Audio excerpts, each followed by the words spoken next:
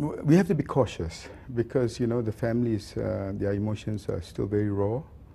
And uh, I, have been through this roller coaster ride. Uh, we've been following all sorts of leads from the South China Sea uh, to the um, Straits of Malacca to the Andaman Sea to the northern and southern corridor, now with the southern tip of the southern corridor. So whether we are um, confident or not, uh, I'm just taking this as just another lead. Journalists were told two different versions of those last words from, right. from, from the cockpit. Right. Both of them in itself seem to be fairly innocuous. So how did this confusion arise? Is it just sloppiness on, on I, I, I, don't know, Jonah, and it doesn't really matter because um, I, I, I, deviated from normal practice uh, in persuading the investigators to release the transcript because um, there was so much speculation about it.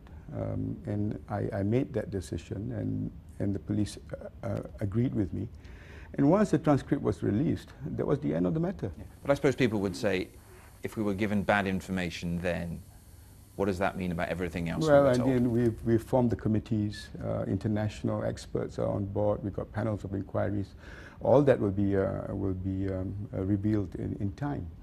And uh, Malaysia has got nothing to hide. You're the Malaysian Defence Minister as well as being the acting Transport Minister. And to have an unidentified plane cross the Malaysian peninsula yes. and not be challenged must be embarrassing for you in the least? Well, if you scramble the uh, Sukhois, um, even if you feel that uh, that should have been um, the uh, uh, actions or should have been the action of the, the um, Royal uh, Malaysian Air Force, are you really going to shoot down a commercial airline?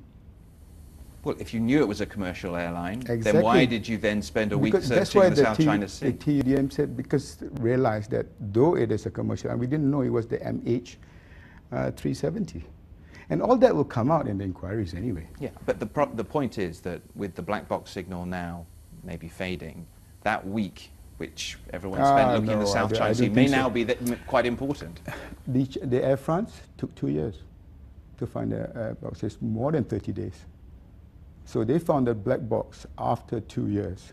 So this uh, battery life will not uh, hold water with me when it comes to looking at it and all these other speculation with regards to scrambling of aircrafts and military air, airplanes and trying to, to uh, uh, apportion that to Malaysia's capability.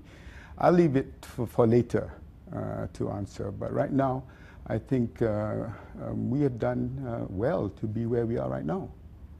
Do you think we will ever fully know what happened on board that plane? I hope so. I hope so. And uh, at the end of the day, if we do not uh, stray from the focus, we will find out, Jonah. So you, you believe there will be answers in the end? I know there will be answers. I know we will find the plane. But it's just a matter of when.